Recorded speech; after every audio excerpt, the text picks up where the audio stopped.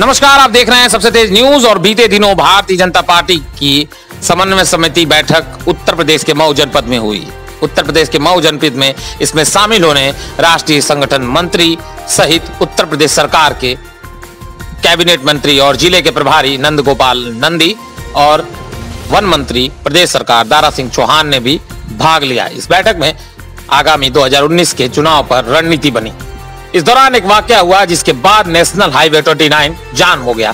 तस्वीरें आप देख सकते होंगे किस प्रकार से मंत्री ज़िले के प्रभारी नंद गोपाल नंदी के का वाहन आधा सड़क पर खड़ा है और आधा वे फुटपाथ पर खड़ा है, जो कि होटल के बाहर जगह है, वहाँ खड़ा है। इस बीच काफ़ी लंबा जाम लग गया। करीब 15 मिनट तक लोगों को जाम एनएच 29 पर जाम के झाम में फंसे रहना पड़ा। आप तस्वीरें देख सकते हैं किस प्रकार से पुलिस के वाहन भी खड़े हैं और पुलिस स्वयं खड़े हैं।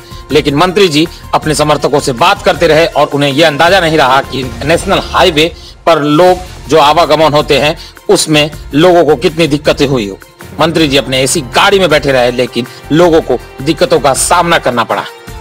ऐसे में सवाल उठता है कि मंत्रियों को सिखाया जाता है कि वे जनता के साथ रहे, लेकिन एक मंत्री की वजह से जाम के झाम में फंसे लोग। कितना सही है।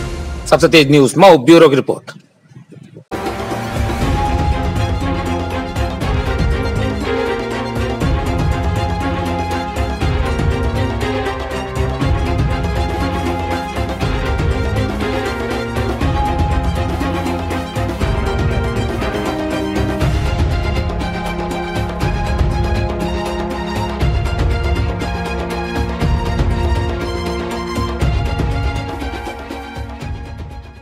अगर आपको हमारा वीडियो अच्छा लगा तो लाइक करें शेयर करें। साथ ही हमारे YouTube चैनल को सब्सक्राइब करना ना भूलें। लेटेस्ट वीडियो अपडेट के लिए घंटी बटन दबाएँ।